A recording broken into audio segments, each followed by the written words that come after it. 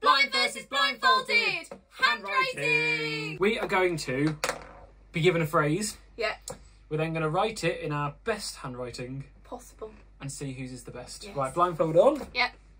Give us a phrase, Ali. The quick brown fox jumps over the lazy dog. Okay. Here we go. This is really hard because I don't know how much space is on the board. You ready Should to we reveal? do reveal? Three, two, one. Reveal. Blindfolds off.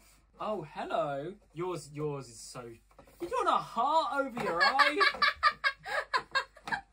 What do you think? Oh, I made a bit of a mistake on jumps. I did a. I was going to do a capital J and realised it's not a capital. I jury's out on who's won this. Right. Who wins? You, You decide. decide.